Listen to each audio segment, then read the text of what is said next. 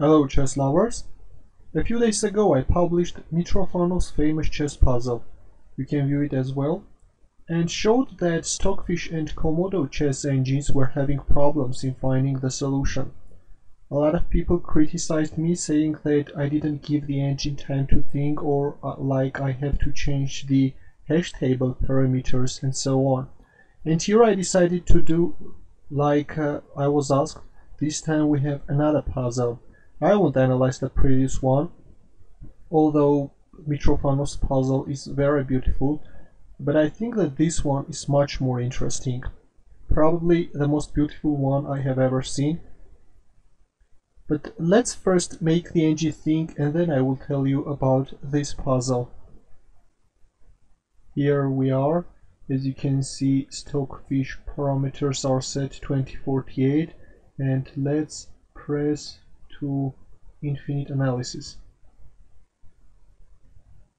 Uh, the engine is thinking incorrectly, thinking that black is winning. But let it think. Okay, there is an obscure mythology about this puzzle. There are stories of Tal having received an anonymous letter in pre-1986 of a lorry driver having composed it. Gufeld said that since nobody has yet claimed to be the inventor of the study, he proposes that it dropped in from outer space. But more likely here is how all happened. In 1987, a strong international tournament was being held in Brussels. A lot of chess stars were there like Karpov, Kasparov, Nigel Short, and Mikhail Tal was also among them. Engine is still evaluating the position incorrectly. Okay, let's go on. And in one of press rooms, Jim Plaskett, a British grandmaster, set up this intriguing chess position. All the masters were stumped except for the greatest Mikhail Tal, who stared at it for 10 minutes, then went for a walk in a nearby park. An hour later, after some fresh air, the wizard from Riga popped back in and immediately played the correct solution on the board. A variation so subtle and beautiful that it stunned all who witnessed it. So what is the true origin of this puzzle? The best we can determine it was invented by the Dutch composer Gijs van Breukelen sometime around 1970. Instead of publishing it, he merely showed it to some friends, and being so incredible, it found its way through the grapevine into grandmaster circles. By word of mouth, it found its way to Spassky, and later to Plaskett. In 1997, Breukelen finally decided to publish it in the Dutch chess magazine Schakend Nederland. Let's wait a bit longer and then we'll go on with analyzing.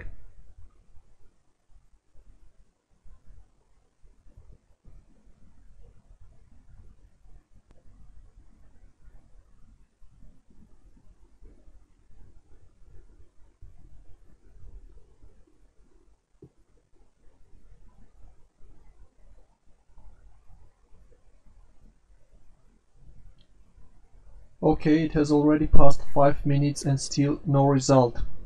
You can see that still Stockfish 8 is evaluating the position incorrectly. By the way, I tried the same with Komodo 10 and again the same result. Let's now stop the engine and let's analyze it together. First, let's discuss the obvious Black has so much extra material that white has to finish things up neatly or lose. If you promote your pawn to d8 queen, sorry let's switch off the engine again, okay, then knight f7 is losing. The initial check on c2 is fruitless for after king g7 there are no more checks. If white wastes time, black will play bishop a5 to cover the queening square on d8 and black is just winning. The winning line for white begins with knight f6 check.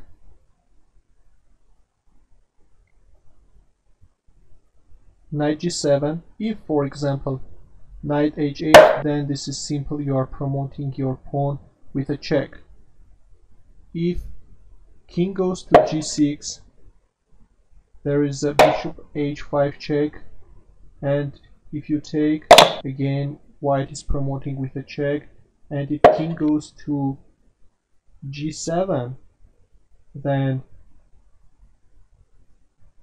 d8 queen and your square on f7 is already protected by a bishop and there is no fork at all.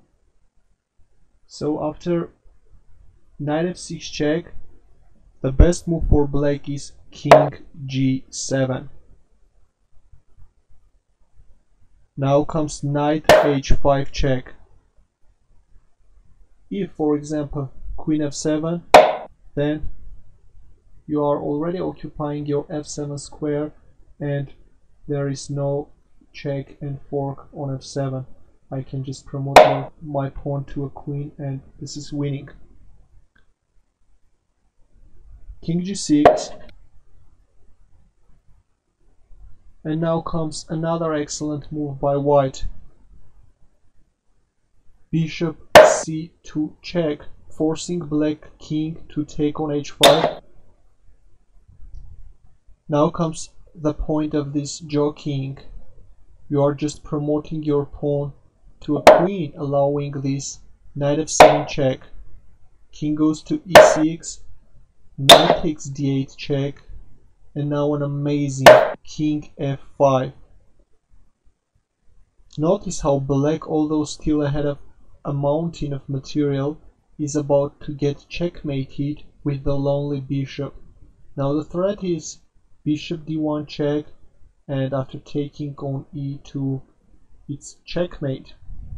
Black plays e2 and now comes bishop e4 you can't promote your pawn to a queen because there is a checkmate on f3 so black promotes his pawn to a knight.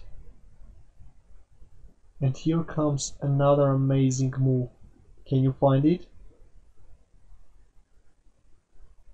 Bishop d5. Looking for another square for a checkmate. c2 and bishop comes c4. Again, if you promote your pawn to a king, queen, sorry, there is a checkmate on e2.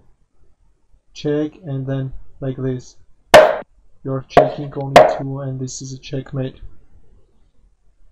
So again, black promotes his pawn to a knight, protecting this square on e2. Look at black with his four knights. It's just unable to prevent a checkmate by a single darting bishop.